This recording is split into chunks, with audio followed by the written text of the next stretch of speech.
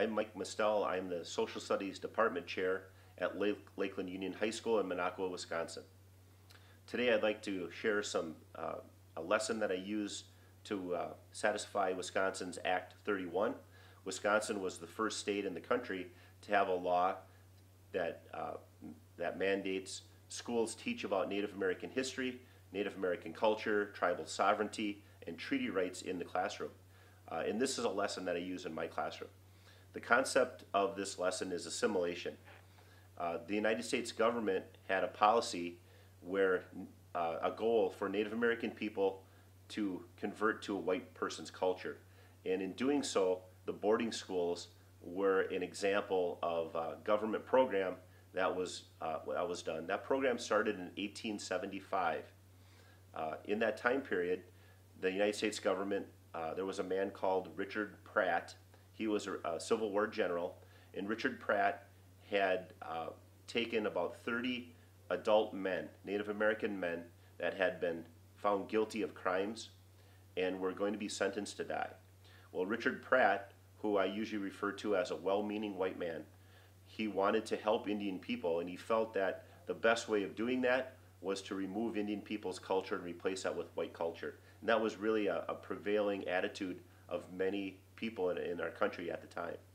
And so Richard Pratt uh, took those men to a fort in Florida, and at that fort created a school.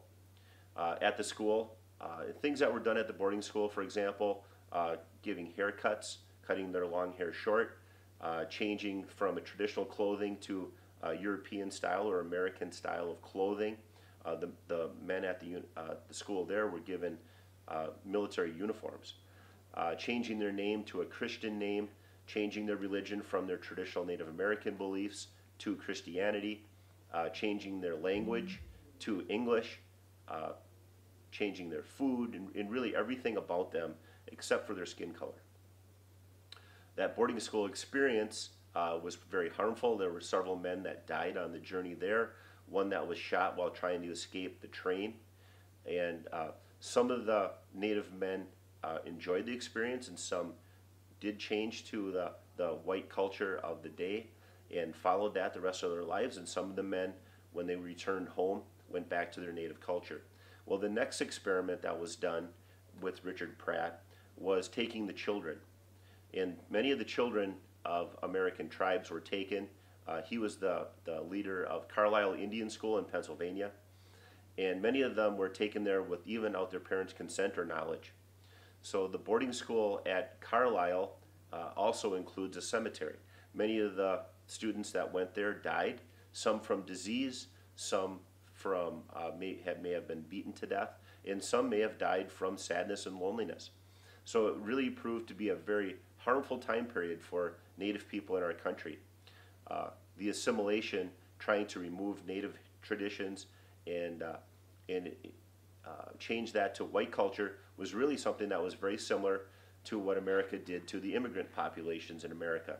Uh, immigrant children, for example, didn't speak their own languages at school, they spoke English in, in other examples. Although the immigrants were not punished so severely uh, during that time period, but it is really a very similar concept.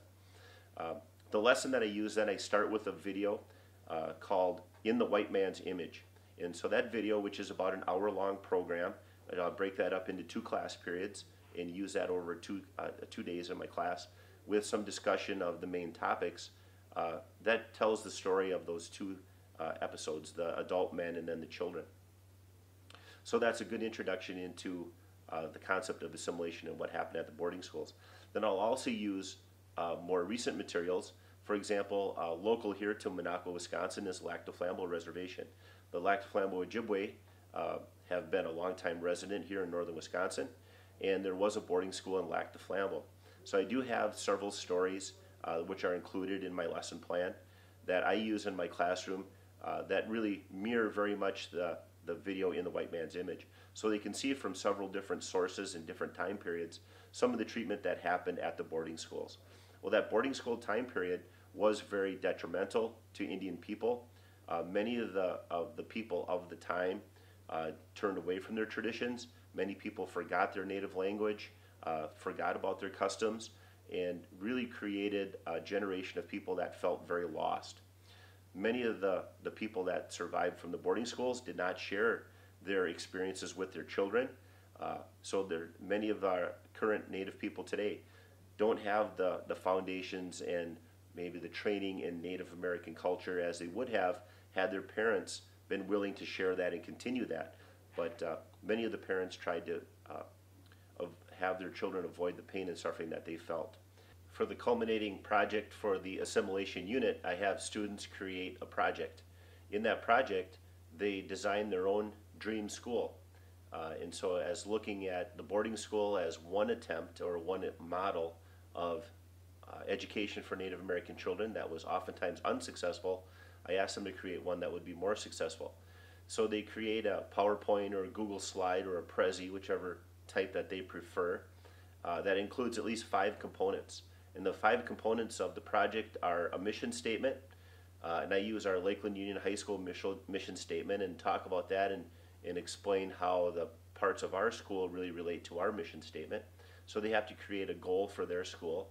The name, the mascot, and logo, uh, which they usually have a lot of fun with that the curriculum, what's going to be taught at their school. Uh, there's a lot of different ways to approach similar topics, and so students can design their own curriculum. Uh, the staff, if they were the administrator of a school, what type of staff would they hire? What type of characteristics and experiences would they be looking for in their staff members? And then finally, the discipline plan. And that's one that students don't often think about being a participant in. Uh, they oftentimes have negative experience with discipline plans. But any successful school has to have a discipline plan. And so that's a, a big challenge, I think, for the students to think in that way. Uh, once the, the students have created their schools, then they present them to the class. And really, when you have a, a classroom of students, uh, I usually do that as a group project. So there might be, oh, five or seven uh, different schools created. They're really very different from each other. And that's really fun to look at the differences in uh, how they approach a, a common set of rules for a project, but they come out with very different outcomes. Um, the other part of that lesson is that usually when it comes to the staff, Native American students oftentimes say they wish there were more Native American teachers and they feel that they might have somebody to go to in a school. Uh, they feel that they might be better understood uh, and that they would might they might be able to learn better from a Native American teacher. Well, that's sometimes that's something that's out of our control as a classroom teacher uh, or as a student. Uh, we're not the ones that do the hiring, but I do tell the students that all of us are teachers, and so that's really a great training uh, aspect uh, to for high school students to look at themselves as knowledgeable uh, in their culture, and then being willing to share that, and that kind of opens up the door to uh, other lessons that I do later on in the semester where the students actually do become teachers. Uh, and I have taken students from my Native American history class, taken them into my American history class, and say a junior or senior Native student becomes a presenter in a freshman class. And that, that's a way of having more Native people teach in the classroom uh, without necessarily having to be certified teachers or college graduates. And so the students, I think, uh, enjoy that experience and they really like that idea of giving back and for a younger student to see them as being an expert. So that's my lesson about assimilation and the boarding school uh, experience in the United States history. And uh, hopefully that's something you can find useful in your own classroom. So thank you for watching.